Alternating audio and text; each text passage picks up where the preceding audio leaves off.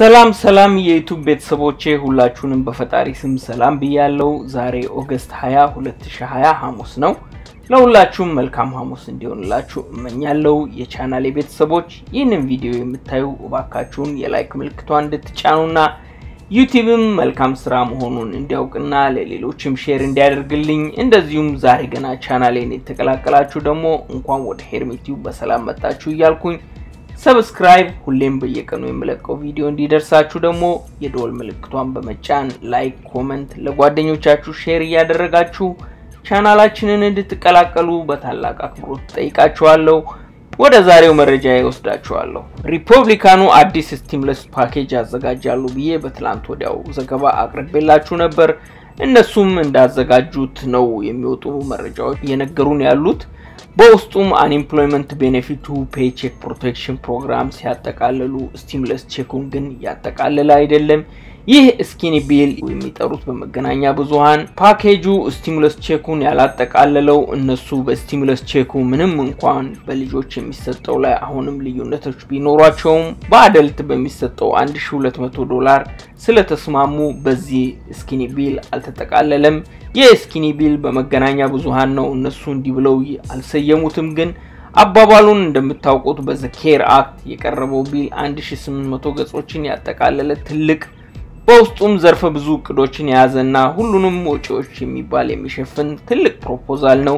ይህ በሪፐብሊካኑ የቀረበው proposal በውስጡ የተወሰኑትን አውጥቶ ወሳኝ ናቸው በአሁኑ ጊዜ ብለው ያሰቡትን ከዚህ ከፖስታ ቤቱ bill ጋር ኮንግረሱ ቅዳሜ በሚኖራቸው የድምፅ አሰጣጥ ላይ ለማቅረብ ነው ያዘጋጁት። ትንሽዬ proposal ስለሆነ ነው skinny bill የሚል ስም የሰጡት። የ500 ቢሊዮን ዶላር የሚሸፍን ባጀት ሲሆን በውስጡም እስከ December 27 የሚቆይ የ300 ዶላር unemployment benefit፣ የ105 ቢሊዮን ዶላር ለትምህርት ቤቶች፣ ለሁለተኛ ዙር PPP ለፖስታ ቤት 10 ቢሊዮን ዶላር liability protection plan ለ business እና ለሕክምና ቁሳቁሶች የያዘ ፓኬጅ ሲሆን proposal ኡ አልቆ ገና ለሕዝብ ይፋ አልሆነም። ስለ ፖስታ ቤቱ ያለኝ መረጃ ደግሞ ፖስታ ቤቱ ከ2007 ጀምሮ በየአመቱ እየከሰረ ያለ ተቋም እንደሆነ ነው ዘገባዎች እየወጡ ያሉት።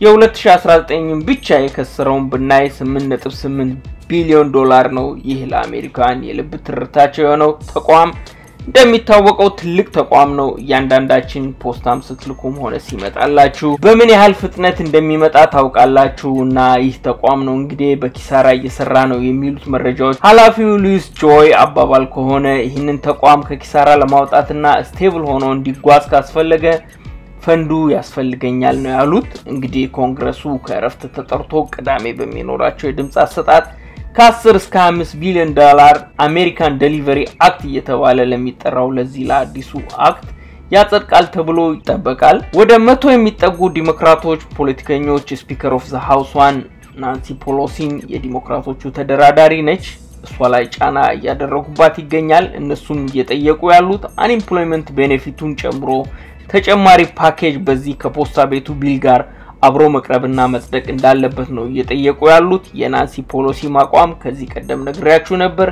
ምንም አይነት የተበጣጠሰ bill accept እንደማታደርግና እንደማትቀበል ስትገልጽ ነበር። አሁን ግን በዚህ ጫና መሰረት እሺ ብላ ይህንን በሪፐብሊካኑ ብዙ ጊዜ ሲጠየቅ የነበረውን ይህንን እናጽድቅና የተቀረውን ሌላ ጊዜ እያየን እናጽድቅ ሲሉ የነበሩትን ሀሳብ ተቀብላ ትስማማለች የሚለውን ቅዳሜ የምናየው ይሆናል። labor department ኡ ባወጣው መረጃ አሁን የስራ አጡ ቁጥር በከፍተኛ ሁኔታ እንደጨመረ አሳውቋል። በዚህም መሰረት በአሁኑ ሳምንት የስራ አጡን ቁጥር ወደ 1.2 ሚሊዮን እንደደረሰ አሳውቋል። ይህም ቁጥር ባለፈው ሳምንት ስናየው 135 ሺህ የነበረ ሲሆን ቁጥሩ እንደሰማችሁት ከሆነ በከፍተኛ መጨመሩ ነው። unemployment rate ኡም 10.2 percent እንደደረሰ ነው መረጃዎች የወጡት። ዲሞክራቶቹ national convention ስብሰባቸውን officially በፕሬዝደንት የሚወክላቸውን nominate አድርገዋል። በዚህም መሰረት ካማላ ሃሪስን እና ጆ ባይደንን ለሚቀጥለው የፕሬዝደንትነት ምርጫ እንዲወዳደሩ ፈቅዷል። እኚህ በዲሞክራቶች በኩል ሆነው ከሪፐብሊካኖቹ ትራምፕ እና ማይክ ፔንስ ጋር ይወዳደራሉ ማለት ነው። ጊዜው ሲደርስ በሰፊው እያየን ሽፋን የምንሰጠው ጉዳይ ይሆናል። ስለ ታክስ የወጡ መረጃዎች ደግሞ የታክስ professional ኦች ለሁሉም unemployment benefit ለሚቀበሉ ማሳሰቢያ ሰጥተዋል። ምንም እንኳን አሁን ብዙዎቻችን unemployment benefit ኡን ስንቀበል ታክሳችንን ከፍለን ብንወስድም ይህ በቂ ብቻ ላይሆን እንደሚችልና ተጨማሪ ልንከፍል እንደምንችል ስጋታቸውን ገልጸዋል። በዚህም መሰረት በሚቀጥለው የታክስ ዘመን ብዙ ለውጥ ልናይ እንደምንችል አሳውቀዋል።